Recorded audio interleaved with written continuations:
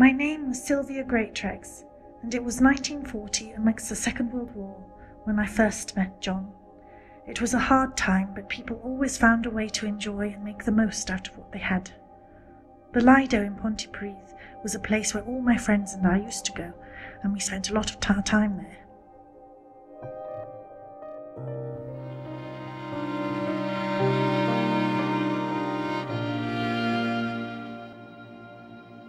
John was on the opposite side of the pool when I first saw him.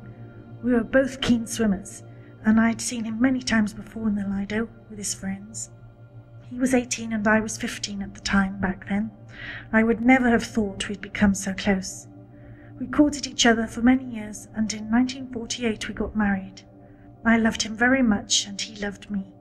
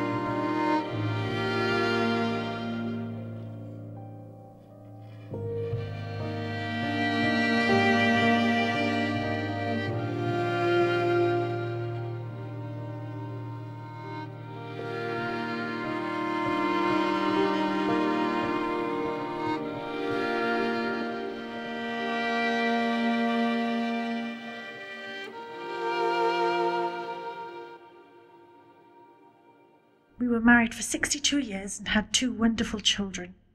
At 89 years old, John died peacefully in 2011 on April 16th.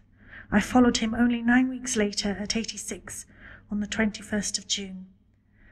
Since 2014, as our children knew how special the Lido was to us, we now rest beneath the north side of the pool together.